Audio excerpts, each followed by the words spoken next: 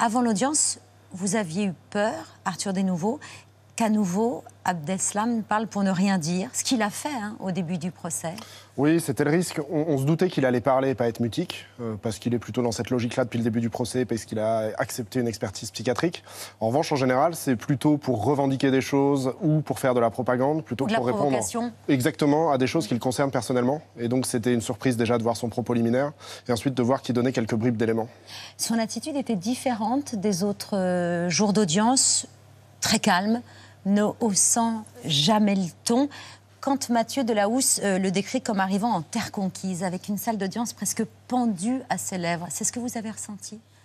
Oui, en fait, ce qui est vraiment marquant, c'est surtout la différence de ton qu'il emploie par rapport au 8 septembre, ou enfin la première semaine d'audience, où euh, en fait on se rend compte que c'est un homme qui sort d'isolement et qui, qui en quelque sorte a besoin de parler, qui prend la parole et qui en fait euh, bah, déclare des choses. Bon, c'est de la propagande. Hein, et, euh, et, voilà, à, l'inverse d'hier, en fait, finalement, où il était dans la maîtrise de ce qu'il disait et on sentait une certaine préparation de sa part.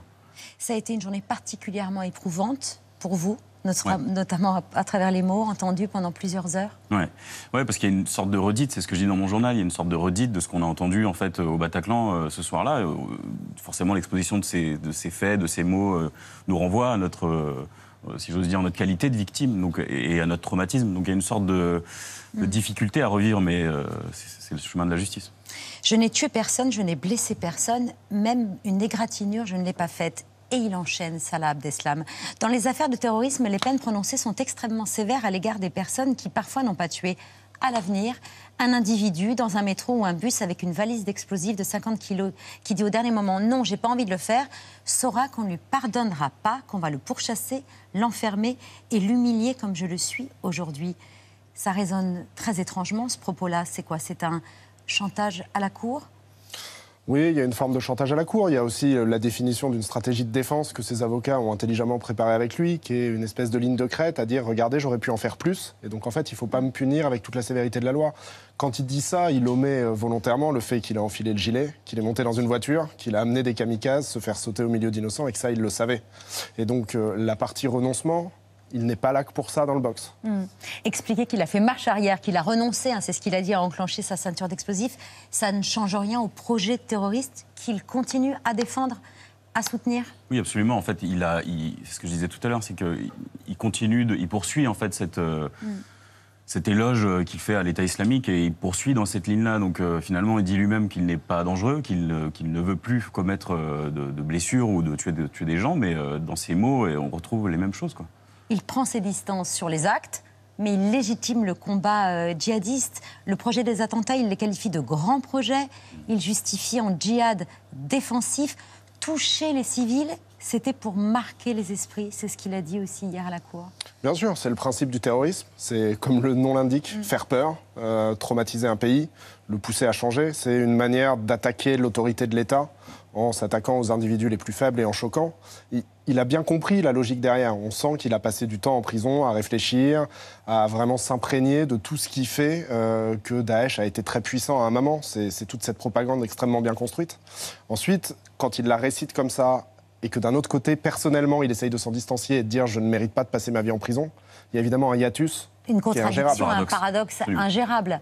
Euh, il reste enfermé dans un discours sans repentir, c'est ce que vous avez ressenti hier? Il s'est jamais placé sur ce terrain-là, en fait. Euh, il évite bien d'aller sur quoi que ce soit de trop personnel. Et d'ailleurs, quand on dit qu'il répond à toutes les questions, c'est vrai. Mais une partie de ses réponses, c'est mm. je ne veux pas répondre à ça, non, c'est pas vrai, alors qu'on sait que c'est évidemment vrai.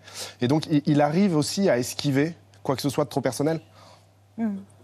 D'ailleurs, enfin, sauf si j'ai raté un moment, mais il, ne s'est pas expliqué précisément sur. Euh, le renoncement sur le moment où il a enlevé son gilet. D'autant qu'en fait, cette phase du procès arrivera à la fin du mois, C'est ça, c'est le 15 mars. Et donc, pour l'instant, il y a une espèce une ellipse, de... Euh, voilà, on ne sait pas encore. Parce qu'en fait, on ne le questionnait pas réellement sur les, exact. Sur les faits et c'est ça qui est passionnant, parce que ces avocats sont très stricts sur le fait de respecter exactement le ah saucissonnage du procès. Ah et là, en revanche, quand ils parlent du 13 novembre, ils ne l'interrompent pas. Comme quoi, c'était extrêmement bien préparé avec eux. Oui, mm. mais du coup, c'est frustrant parce qu'on ne connaît pas exactement le cheminement de, de, sa présence. Je pense que ça peut appeler plus tard à une nouvelle, euh, je sais pas, Il l'a dit d'ailleurs. euh, Il a dit qu'il allait répondre. D'ailleurs, il joue du suspense. Absolument, parce qu'il il dit lui-même euh, non, je, je préfère pas répondre pour l'instant. c'est pour ça que je parle de maîtrise tout à l'heure. Il est vraiment dans la maîtrise et je pense que ces deux avocats ont fait un travail exceptionnel euh, avec cet homme. Et quand euh, Mathieu Delahousse rappelle qu'il y a eu beaucoup de respect de la part des partis civils qui l'ont écouté, c'était du respect ou c'était Ah, c'est, je pense, le respect de la justice. Mm. Nous, on est fiers d'être une démocratie. Et quand nous vient, il vient nous expliquer que l'esclavage, c'est bien, que la charia, c'est bien, on a aussi Abrini qui nous a expliqué que les viols, c'était un projet de natalité.